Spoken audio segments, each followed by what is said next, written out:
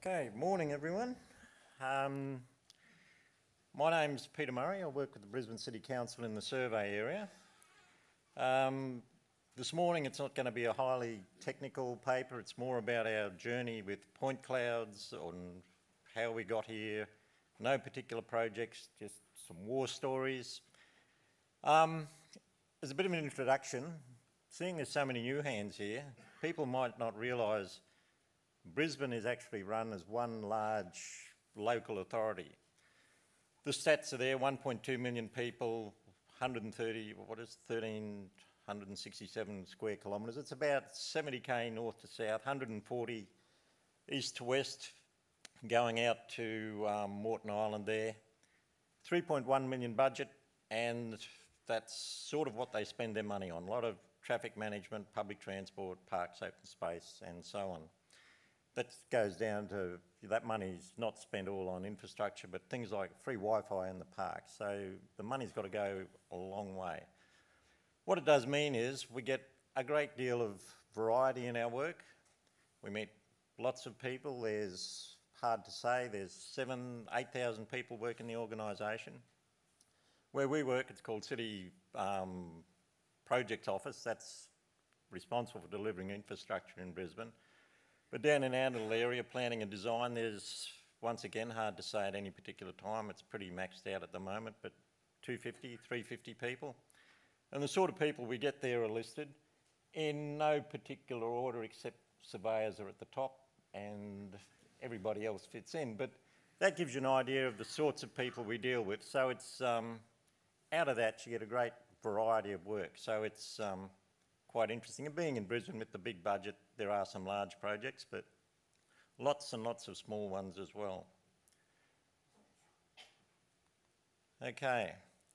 Now I'm assuming from my journey through point clouds that there's not, there could be a few experts here, but I'm probably fairly safe. So what I'm intending to do is just go through a bit of a rundown on what point clouds are as a bit of a background for everyone. Basically a point cloud is just a collection of points. They're unrelated, they look like they're related, but they're totally unrelated. These go into the thousands and billions. The way these things are collected now is laser scanning of many varieties, and I'll touch on them. So, uh, yeah, basically just a big bunch of points, which will cause issues. As people know, when your projects get bigger, you have problems. So how do we get a point cloud? Basically through terrestrial scanning or scanning. Laser scanning is the major way. It comes in various flavours, terrestrial, mobile, aerial. We can generate it through um, photogrammic uh, techniques. Noel touched on that yesterday. And um, they even go down to hydrographic surveys. We've got point clouds, but they're survey, they're surveys, but they're basically point clouds. They are lots of points with lots of detail. If you look at the um, search for the plane that was lost in the Indian Ocean, they found boats and things like that. That's basically point clouds out of bathymetric surveys. Get a great deal of detail. And how long have they been around?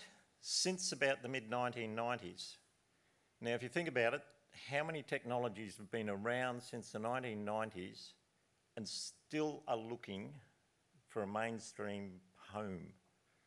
That's the sort of issue that I have with them. They have particular purposes, and a lot of money has been spent on them, and they've had a lot of promise, been a lot of hype, but they haven't moved on that much since the 1990s. The technology's moved on, they collect a lot more points, but we're still looking for use. We've got uses, but not what you'd really hope.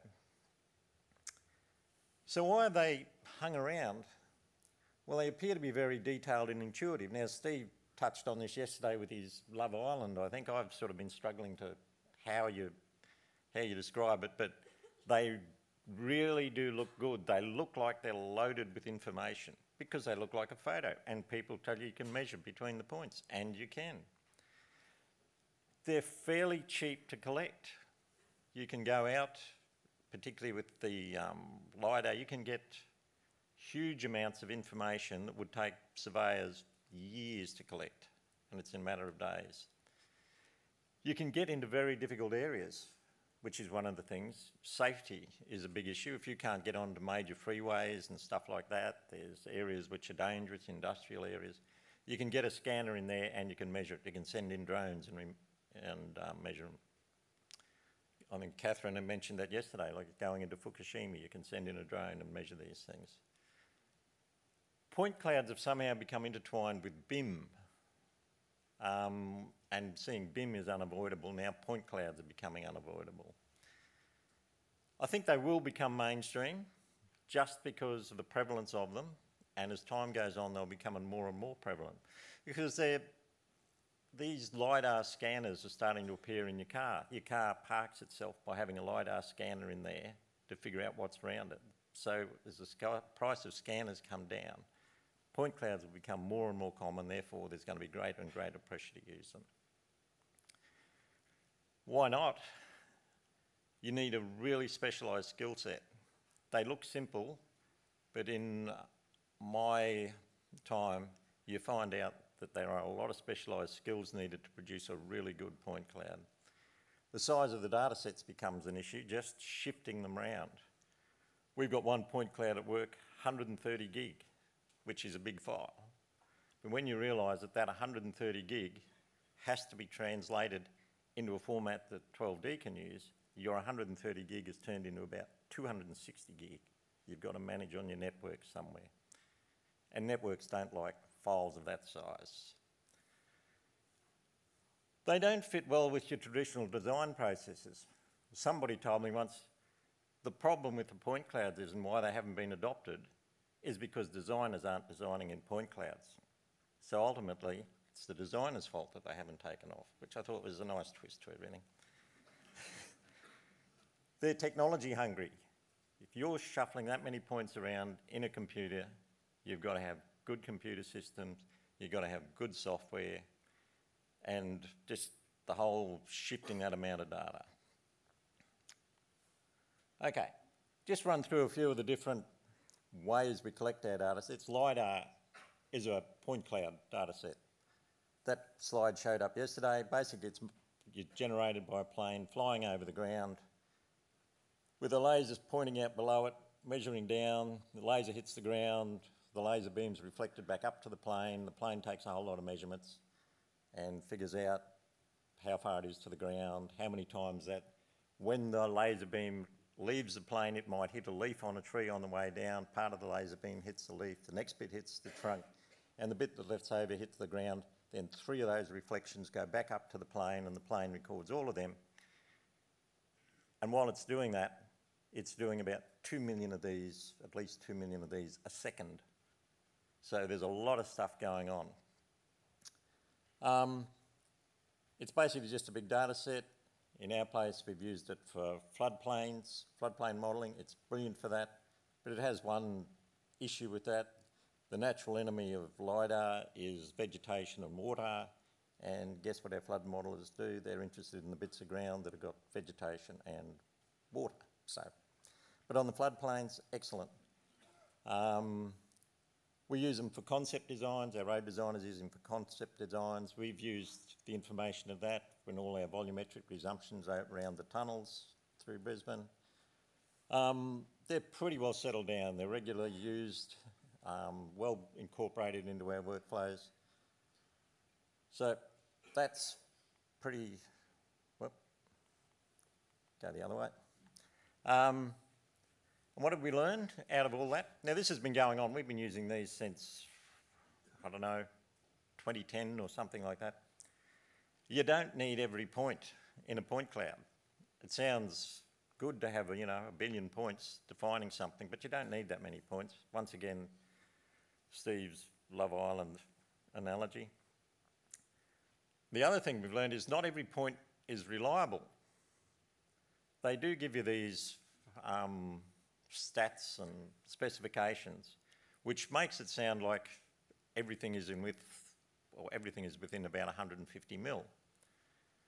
But when you read the fine print, it says 95% of all good strikes are within 150 mil. But you don't know how many good strikes in there. As I said, these things bounce off trees and leaves and everything. On road surfaces, quite good. when you get out in the, in the more bushy bits, the worst error I've found, I wouldn't call, well, it's, we call it an error, but it's measured correctly to what it measured to, it was just classified incorrectly, was about eight metres. But there's no way looking at that data you can tell that that point is eight metres off where you would expect it to be. Okay, LiDAR over time evolved into LAS files, and that has categories in it, which is very useful in LAS files. Noel touched on it yesterday, and categories are generated when the reflection is bounced off the leaves and trees and all that. And it can tell whether it's hit the ground or it has a guess when it's hit the ground, whether it's bounced off vegetation, off roofs, and all that sort of thing. Very useful. You can filter out a lot of stuff with the categories and you can use your, your LiDAR data then for getting roof heights and interpolating floor levels and all sorts of stuff. So they're quite, quite useful. Within the, using the caveats of you're not 100% sure.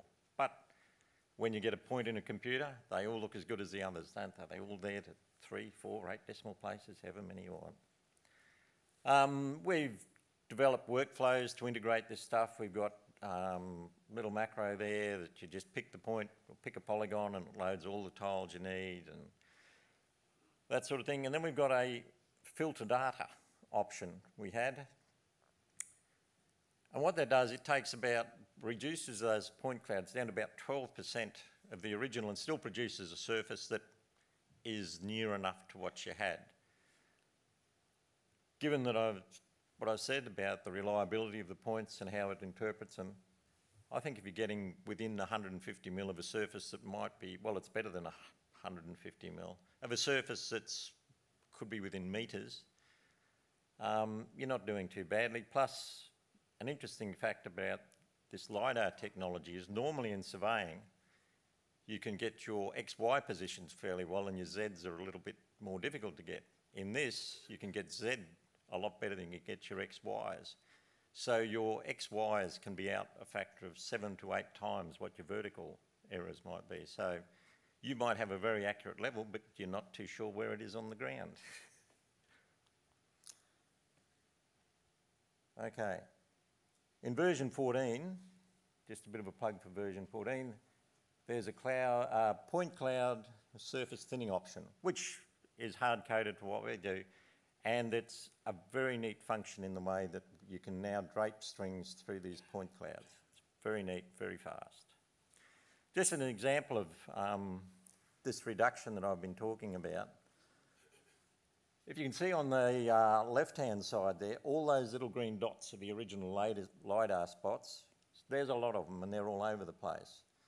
Our thinning option, which has been run on the stuff on the right-hand side in magenta, it concentrates those points where you have changes in grade, like a survey. So that reduces that down. That's a lot less than your original points. And as a sort of an indication, that's the contours. On the left, I'm not too sure if it shows up. That's the original contours. Um, in green, they're jiggity, jaggedy, don't look real pretty. Um, and on the right, in magenta again, is the, it shows up from here, hope it shows up from up there. The contour is a lot smoother and not a bad approximation of what you had. So, yep, you can thin these things and makes them usable. And at 12% of the original data set, they can be incorporated into your design stuff without a lot of drama. Okay, UAV LiDARs, UAV LiDAR. Um, we've had one successful project in this. Now that's basically the full scale plane stuff on a little, on a little um, UAV. This is one of the 30 to 40,000 ones that um, Global Pos has out the front there. Um, that's not a really good photo of the, um, the drone, but it does sort of give an idea of the scale of these things. They're quite, quite large because they've got to hoist a um, LiDAR scanner underneath them, which is a couple of kilos of stuff. And where we used it was in that horrible space on the, in the picture on the right. Classic case of access was very difficult, dangerous in that gully there, it's very sandy, it's prone to collapse. We had absolutely brilliant results out of that. That LiDAR penetrated through all the lantana there, picked up all the, the ground, unbelievable result. And that's just the plot of what came out of it. As you can see, there's quite detailed, quite rough underneath. Another version is mobile laser scanning, basically where they put a laser scanner on the back of a ute, drive it down the road. This is very good for collecting big amounts of data. Um, you don't interfere with the traffic, you don't have to close roads down. Um, you can get more accurate measurements than out of your LiDAR, um, high level LiDAR stuff. Um, we've had limited experience with the outputs. We did have get a, um, a data set from TMR of the busway, which was really useful. We managed to go through that and extract some long sections and cross sections of the busway for some preliminary works, really useful. So, you know, when I say they haven't found a home, they do have some really useful things. Um, the other one is UAV photogrammetric, which Noel was talking about yesterday. Um, I'm pleased Noel spoke before me because I was sort of going to bag this stuff a bit, but Noel is one of the good guys with this stuff. Noel does know about survey control and he does know about categories in it. I did not realise you could get categories out of the um, photogrammetric stuff. Um, we've had some of this stuff. There's a lot of people out there who go down to JB, buy their, buy their drone and set themselves up, think they know what we're doing. We've had data come in which is useful to some extent, but there have been twists in the um, plane of vertical datum. So these things uh, slide through these jobs. They're just very, if you get a bad set, data set, you can't do anything with it. It's quite inexpensive and very useful in some cases. If you're doing um, particularly clean area sites like stockpiles and stuff like that, I imagine that would be, be gold. Then there's terrestrial laser scanning. Um, that was one of our early experiences was with scanning bridges, and that one there is a bridge, a suspension bridge in uh, out at Indooroopilly.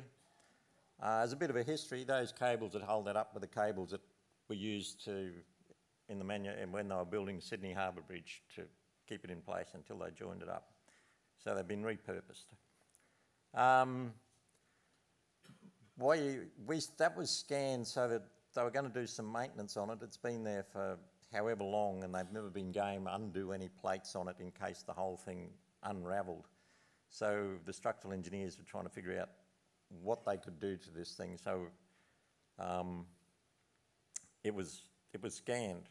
Years before that, um, myself and another surveyor spent Saturdays, or a Saturday, set up on top of those pylons, measuring it with um, total stations.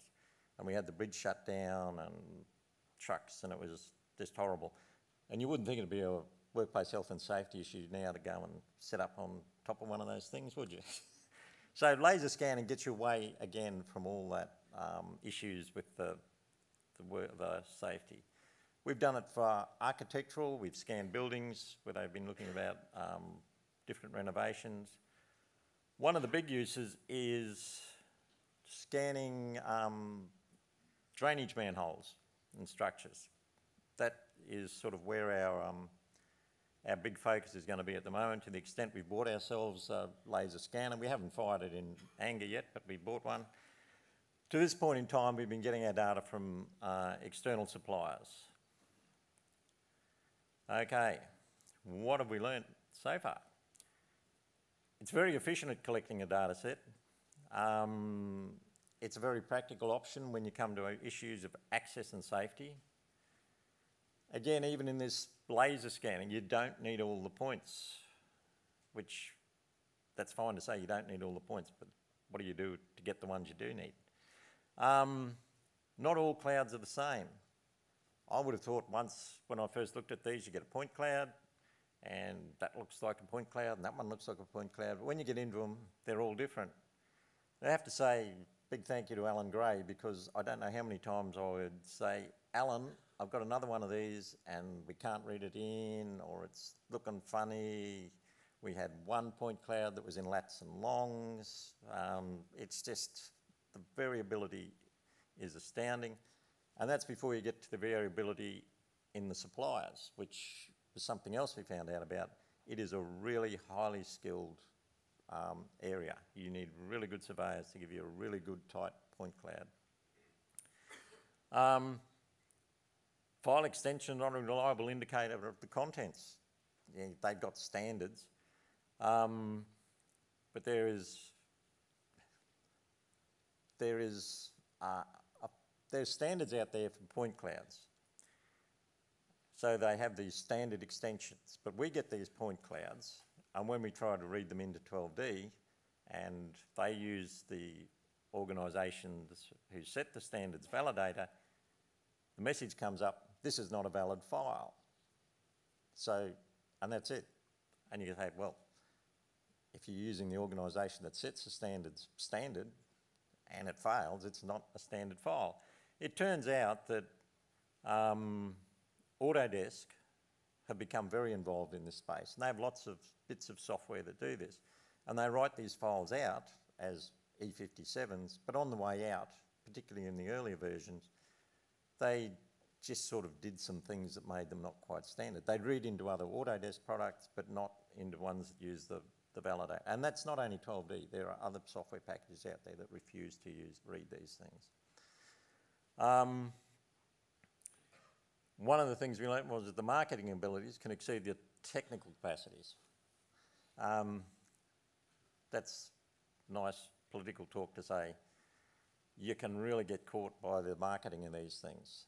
Um, there's a lot of money, more money going into the marketing, or the effort goes into the marketing more than the production of the product at the end. And the thing going around at the moment is scan to BIM, which when you read that, you think, oh, I've got a point cloud, I just throw this point cloud at something and I end up with all my stuff extracted into these nice BIM features that everybody's been talking about. I went to the Grand Prix in March and there was a crew down there had hired a tent at the Grand Prix, which would have cost them, cost mozza. And they were pushing this scan to BIM and one of the guys collared me. And he said, we've got this scan to BIM, the magic button. And I said, okay, what does this magic button do? And on pursuing it, what it means is they package all this stuff up, send it offshore with some vague specification and stuff comes back. And then they got to sort it all out. So it's not a nice, transparent process. And you, if you can imagine what happens when this stuff goes offshore, there's multiple people over there working on the same stuff. What they do is quite good, but you don't have the transparency, you don't know what's happened to your data, and that's one of the things that gives you your variability in the, the point clouds. Um, it's not civil design ready. I don't think it is. It's very useful, but it's not something that every designer is going to be using, loading into their jobs quite yet. They are valuable. There's a way to go yet. And the other thing is 12D can manage point clouds. I'm not too sure what you're going to, what you want to do with them, but it can read them in. Some of the point cloud outputs, you get point clouds obviously, which is a good record of what was there. Uh, you can extract objects, vectors, points, surfaces, tins. Viewers is a very good um, output of them. That puts a, uh, takes a photo type thing, it, a viewer that runs in a web browser and you can measure off that, you can walk through it like um, Street View or something like that. And the uses are geospatial, forensic, it's even used in movies. It's used a lot in movies, these scanners, so they're around. Um, just a bit there on 12D and point clouds. That's some of the stuff that's available in um, 14. You can read in the formats, you convert between formats, you can do projection transformations. Uses string cloud element, which is a very peculiar element. Um, version 14 if, is the version to start playing. If you want to look at point clouds, try version 14. It is so much better. The perspective view is so much more reliable. You can select in it. It's really good. Um, but there on point cloud functionality, there's a lot of stuff you can do. As I mentioned, there's draping against point clouds. which is very nice. Um, yeah, touched it probably doesn't mean much. But as you can see, 12D is starting to get into- involved in point clouds. There's stuff there you can do with it. So where are we at? LiDAR point clouds, we say happy days, we've, we've got them nailed. We're starting to scan drainage chambers, we're scanning buildings. Um, we've embarked on data extraction and modelling, um, getting vectors, trimeshes and pipes. We're at the stage of writing a specification to get stuff extracted. Um, and just as an example there, we've got, that's one of our manholes that we've had scanned. As you can see, it looks quite detailed, but not, not something you can do a lot with. You can do things, I've sort of been playing around with them and using some of the tools in there. You can do things like slice the point clouds, which you can see the shape, which is like taking a section through them. Um, and through, through that, I've actually managed to build a, um, a tri-mesh out of, a, out of the point cloud. So that reduces, you know, several million points to something that's, that's quite manageable.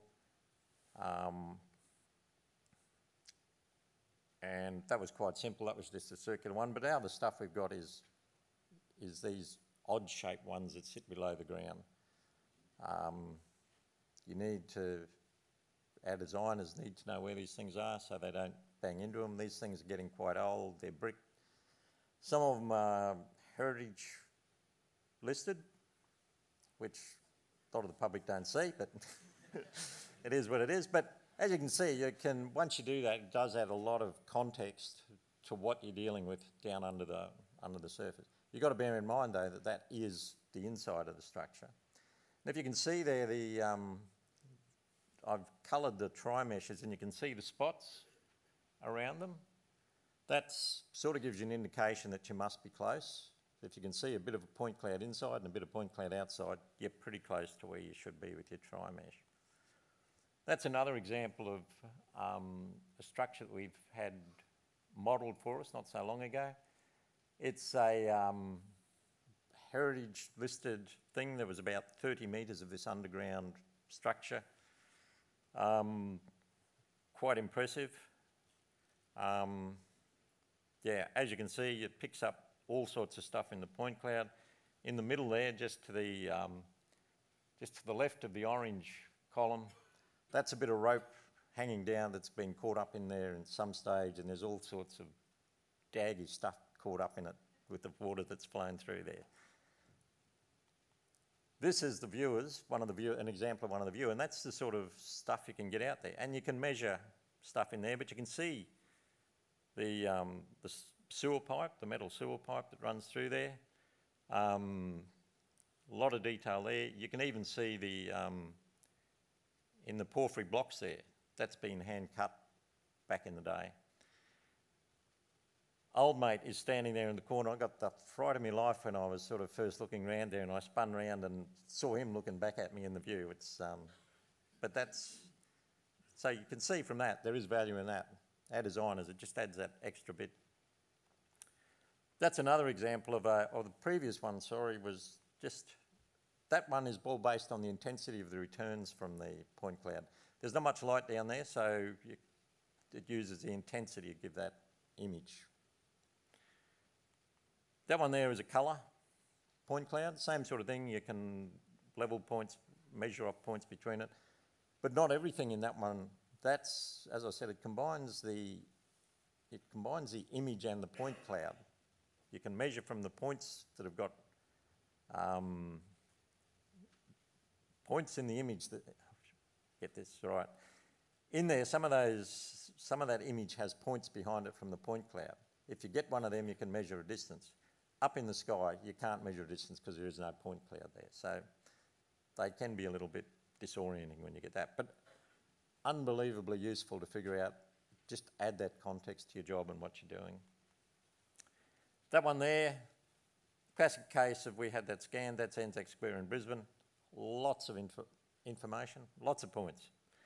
All we were after is down on the side there, you can see we extracted some vectors around the, around the window frames and doors and a few of the building structures. That's zoomed in close. As you can see, it all fits in really nicely and neatly. Um, we had all that point cloud, millions of points came out to a couple of hundred strings was all they really wanted out of that. But we have that point cloud now is a record of everything that might go on in the future. Same sort of thing there. Um, that's our standard DTM survey, coloured up a bit with those building elements down the side of the um, side of the park. This is where we're going now. We're looking towards is tri-meshes. We're extracting them from point clouds. It's um, some of the areas you go to, there is so much detail that if we were to pick them up conventionally, just as standard strings, it becomes meaningless because you can't disentangle the amount of information. So our approach on this project is to scan them and get um, tri-meshes extracted to reduce the amount of information plus make it more obvious what's, what's there. Um, once again, do you really need to be able to measure to all those lights? Who knows? They need to know there are lights there. Does it have to be 100% a replication of the light? Probably not. Plus, there's a bit of a, um, the other thing in there is we're starting to colour our DTM surfaces, so that just mixes together th through there as the one, one visual thing. Um, there's a big difference between survey data and design data. It's a lot harder to get survey data because it's so random to into tri-meshes and to look like your standard design stuff. And I think we're nearly there. That is another example. We've had those red things there are cabinets that have been extracted from the tri-mesh, but we've got the point cloud overhanging that stuff, so you can see that we're still close.